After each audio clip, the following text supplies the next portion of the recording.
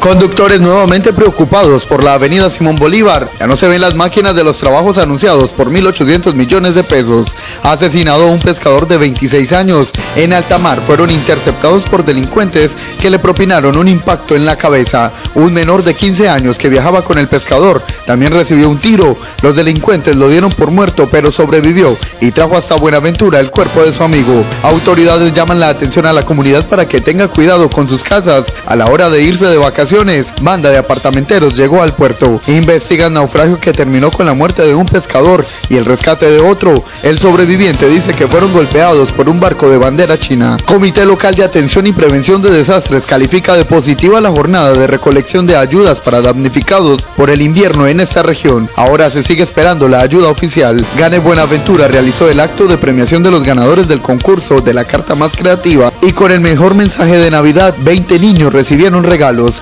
Gremio de Transportadores Urbanos aseguran que brindarán un buen servicio en las jornadas del Buenaventura Nocturna este 23 y 30 de diciembre. Se quiere que los taxistas no solo trabajen por carreras, mientras tanto algunos almacenes preparan espectaculares promociones. Control Físico reitera controles para evitar la llegada de vendedores foráneos en Navidad y fin de año. Y espere, este viernes Pacífico Cinemas inaugurará su moderna sala de cine en 3D al estilo de las grandes capitales. Este es el noticiero de Buenaventura con Luis Antonio. Antonio Klinger.